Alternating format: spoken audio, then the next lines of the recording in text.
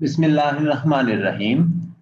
This is reading passage 3 from IELTS Book 15, test 1, as you can see. Uh, you should spend about 20 minutes on questions 27 to 40, which are based on reading passage 3 below. What is exploration? We are all explorers. Our desire to discover and then share what newfound knowledge is, is part of what makes us human. Indeed, this has played an important part in our success as a species. Long before the first uh, caveman slumped down beside the fire and grunted news that there were plenty of wild beasts over yonder our ancestors had learned the value of spending out scouts to investigate the unknown. This testing nature of ours undoubtedly helped our species spread around the globe, just as it nowadays no doubt helps the last nomadic Penan maintain their existence in the depleted forests of Borneo and a visitor negotiate the subways of New York. Over the years, we've come to think of explorers as a peculiar breed, different from the rest of us, different from those of us who are merely well-traveled even, and perhaps there is a type of person more suited to seeking out the new, a type of caveman more inclined to risk venturing out. That, however, doesn't take away from the fact that we all have this inquiring instinct every day, and that in all sorts of professions, whether artist, marine biologist, or astronomer, borders of the unknown are being tested each day. Thomas Hardy set some of his novels in Egdon Heath, a fictional area of uncultivated land, and used the landscape to suggest the desires and fears of his characters. He is delving into matters we are recognized because they are common to humanity. This is surely an act of exploration and into our world as remote as the author chooses. Explorer and traveler, writer Peter, Peter Fleming talks of the moment when the explorer returns to the existence he has left behind with his loved ones. The traveler who has for weeks or months seen himself only a puny and irrelevant alien crawling laboriously over a country in which he has no roots and no background suddenly encounters his other self, a relatively solid figure with a place in the minds of certain people. In this book about the exploration of the Earth's surface, I have confirmed myself to those whose travels were real and who also aimed at more than personal discovery. Uh, but that still left me with another problem. The world explorer has become associated with a past era. We think back to a golden age as if exploration peaked somehow in the 19th century, as if the process of discovery is now on the decline. Though the truth is that we have named only one and a half million of this planet's species, and there may be more than 10 million, and that's not including bacteria. We have studied only 5% of the species we know. We have scarcely mapped the ocean floors and know even less about ourselves, we fully understand the workings of only 10% of our brains. Here is how some of today's explorers define the word Ranfinus, Ran Fiennes, uh, dubbed the greatest living explorer, said, an explorer is someone who has done something that no human has done before, and also done something scientifically useful. Uh, Chris Bonington, a leading mountaineer, felt exploration was to be found in the act of physically uh, touching the unknown. You have to have gone somewhere new. Then Robin Hanbury Tennyson, a campaigner on behalf of remote so-called tribal peoples, said, a traveler simply records information about some far-off world and reports back.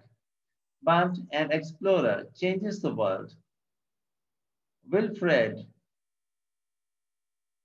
uh, uh, who uh, crossed Arabia's empty quarter in 1946 and belongs to an era of unmechanized travel now lost to the rest of us, told me if I'd gone across by camel when I could have gone by car, it would have been a stunt. To him, exploration meant bringing back information from a remote place regardless of any great self-discovery.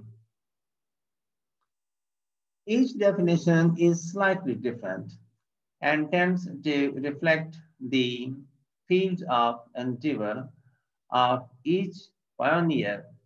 It was the same whoever I asked. The prominent historian I would say exploration was a thing of the past. The cutting edge Scientists would say it was of the present, and so on. They each set their own particular criteria, the common factor in their approach being that they all had, unlike many of us who simply enjoy travel or discovering new things, both are very definite objective from the outset and also a desire to record their findings. I'd best declare my own bias as a writer, I am interested in the exploration of ideas. I have done a great many expeditions and each one was unique. I have lived for months alone with isolated groups of people all around the world, even to uncontacted tribes. But none of these things is of the slightest interest to anyone unless, though my books, through my books, I found a new slant, explored a new idea. Why? Because the world has moved on. The time has long passed for the great continental voyages. Another walk to the poles, another crossing of the empty quarter, we know how the land surface of our planet lies. Exploration of it is now down to the details, the habits of microbes the same, or the grazing behavior of buffalo. Aside from the deep sea and deep underground, it is the era of specialists. However, this is to disregard the role of the human mind has in uh, conveying remote places, and this is what interests me. how a fresh interpretation, even of a well-traveled route, can give its readers new insights. So this was the reading passage. Now questions 27 to 32. Choose the correct letter A, B, C, or D. Okay, this is multiple choice type. And you see 27, the writer refers to visitors to New York to illustrate the point that exploration is an intrinsic element of being human. 28, according to the second paragraph, one is the writer's view of explorers. They act on an urge that is common to everyone. The writer refers to a description of Egdon Heath to suggest that Hardy's aim was to investigate people's emotional states. In the fourth paragraph, the writer refers to a golden age to suggest that we are wrong to think that exploration is no longer necessary. In the sixth paragraph, when discussing the definition of exploration, the writer argues that people tend to relate exploration to their own professional interests. In the last paragraph, the writer explains that he is interested in the human ability to cast new light on places that may be familiar. Now, questions 33 to 37 look at the following statements, questions 33 to 37, and the list of explorers below. Match each statement with the correct explorer.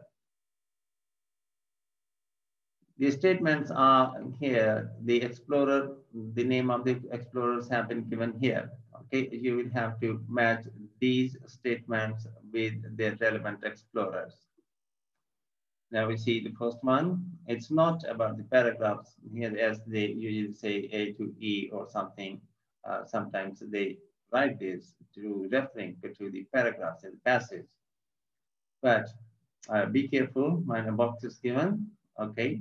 The, your statements may be relevant to the box.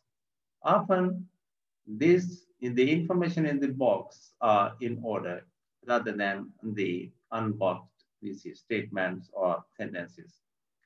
Uh, we see this. He referred to the relevance of the form of transport used. I see. Uh, Wilfred Tisger, Thesiger. Okay, he described the feelings on coming back from after a long journey. Okay, this uh, Peter Fleming he worked on the benefit of specific groups of people. Robin Hanbury Tennyson. He uh, did not consider learning about oneself an essential part of exploration. Wilfred Tisger. He defined exploration as being both unique and valued to others. This is Ran Fiennes, Ran Fiennes. Okay, now question 38 to 40. It's a fill in the blanks. Complete the summary below. Choose no more than two words. Okay, remember this. Uh, from the passage from for each answer. Now, the writer's own bias the writer has experience of a large number of unique expeditions and was the first stranger that certain previously isolated people that certain previously isolated people had uh, uh, encountered Uh, he believes there is no need for further exploration of Earth's land surface except to answer specific questions such as how buffalo eat. Now, this is the end of this paragraph, and this is what you have to do. And uh, you see, there are many tricks to do all these things, but to me is the practice that you make, your interest in doing all this type of exercises, and uh, the type of test is understanding of the type of test is more important. And this is, to my mind, easy approach, okay? It will take time to be very familiar with the type of examination. It will not be overnight and, and you, need, you need to spend time. You should develop your stamina to do one test every day at least. And if you do the two, it's better. In this um, listening and reading uh, this type of tests, you don't need to write much. Just you see one word, two word, or three word, or matching, or multiple choices, A, B, C, D, like this. Uh, hope you uh, you carry on your first. Wish you best of luck. Thank you for spending your time with me. And um, if you have not yet, as the formal request, if you have not yet, subscribe the channel and the bell button as well to get the fresh from me. Thank you very much for watching. Have a nice time. Goodbye.